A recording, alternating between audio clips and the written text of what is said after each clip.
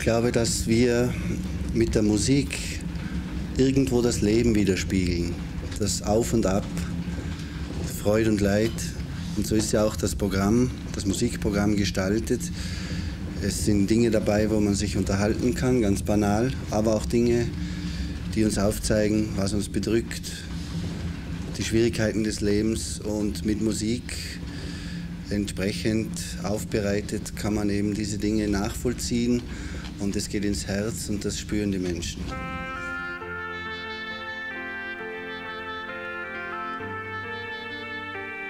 Die Bilderbuchwelt, in der die Musiker zu Hause sind, hat ihnen die Herausforderungen des Lebens nicht erspart.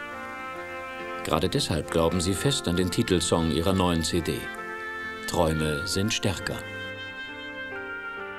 Als junge Band träumt man ja immer davon, dass das irgendwann einmal vielleicht auch erfolgreich wird.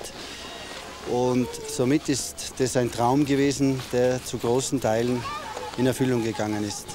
Ich habe sogar das Glück zu sagen, es, ich habe sehr viele Träume gehabt und sehr viele haben sie erfüllt und es gibt auch Träume, die ich noch gar nicht gehabt habe, die sie bereits erfüllt haben. Zum Beispiel äh, eine liebe Frau, zwei urig liebe Kinder und dann habe ich noch den größten Traum gehabt, ich wollte Musiker werden, das bin ich heute. Es gibt ja verschiedene Arten von Träumen, es gibt auch die Wunschträume. Und wenn ich jetzt das auf unsere Musik beziehe, das war sicher ein, ein Wunschtraum. Äh, ich hätte mir das nicht so vorstellen können, dass einmal so äh, laufen würde, so gut, muss ich sagen. Aber es hat eben, wenn so ein Traum erfüllt wird, da gibt es auch viele, viele Menschen, die mithelfen. Die darf man nicht vergessen. Und der äh, ganz Wichtigste, das sind unsere Fans. Ich sage immer, das ist so ein, ein großes Haus. Ein schönes Haus nützt nichts, wenn das Fundament nicht passt. Und das Fundament, das sind unsere Fans. Und wenn man ein gutes Fundament hat, da können schon ein paar Erdbeben kommen. mein ganzes Leben basiert auf Träumen. Also mit 18 äh, Jahren vom Gymnasium einfach abzuhauen, um den ganzen Tag im Proberaum zu sitzen und 10 Stunden am Tag zu üben, anstatt zur Schule zu gehen, das ist doch damals in den Augen sehr vieler meiner Mitschüler und meiner Miterwachsenen natürlich absolute Träumerei und Spinnerei gewesen.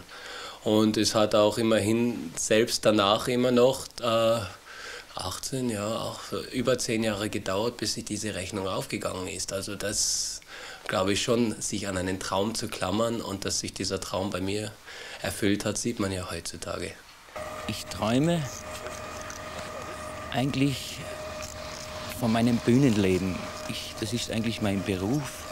Ich träume auch, dass ich äh, von meiner Familie, dass ich sagen kann, es ist alles okay. Äh, viele würden sagen, das ist ein Schmäh, aber das ist kein Schmäh die Stärke eigentlich geben dir die Fans und die Familie, weil wenn das nicht ist, dann äh, würden wir abstürzen. Freunde, jetzt geht's los.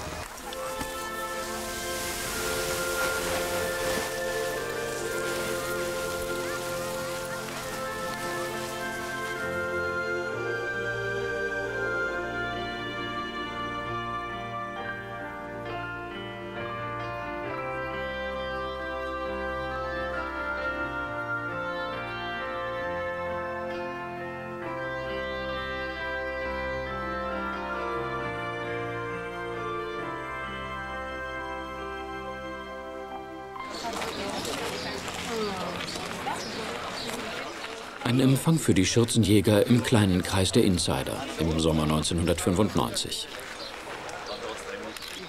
Anlass? Die erste goldene Schallplatte in Deutschland. Auch das ist ein Traum, den sie länger als 20 Jahre immer wieder geträumt haben. Außerhalb Österreichs ebenso erfolgreich zu werden wie in ihrer Heimat. Peter, komm, du bist derjenige, der als erster heute haben soll, die erste Goldplatte aus Deutschland erreicht. Nun staunen auch die Kritiker, die sie jahrelang in eine viel zu enge Schublade gesteckt haben. Und das oft, ohne sie je selbst gehört zu haben. Es war ein langer Weg für die Schürzenjäger bis zu diesem Augenblick. Und wie steinig er oft war, das wissen nur sie allein. Inzwischen bekennen sich die Leute in Deutschland zu der Musik, die sie mögen. Es ist nicht mehr eine Frage traue ich mich oder traue ich mich nicht. Und zu den Schürzenjägern bekennen sich inzwischen die Unterschichten, die Mittelschichten und die Oberschichten. Es ist, es ist die äh, Möglichkeit, Begeisterung zu übertragen. Die Möglichkeit der Schürzenjäger, Tausende und Abertausende von Leuten zu begeistern mit ihrer Musik. Das ist eigentlich, was mich am meisten fasziniert. Frankfurt am Main im Sommer 95. Erwartungsvoll strömen Tausende in die Festhalle auf dem Messegelände. Hier treten die ganz Großen auf. Tina Turner war hier, Elton John, Bon Jovi, Phil Collins und an diesem Abend die Schürzenjäger. Wie bei jedem Konzert zeigen viele Fans ihre Verbundenheit durch ihre Kleidung. Der rosarote Adler wirbt inzwischen auf mehr als 500 Artikeln für die Band. Auch für die Schürzenjäger ist das ein ganz besonderer Abend. Nach langen Jahren in Zelten oder auf kleinen Bühnen, nun hier.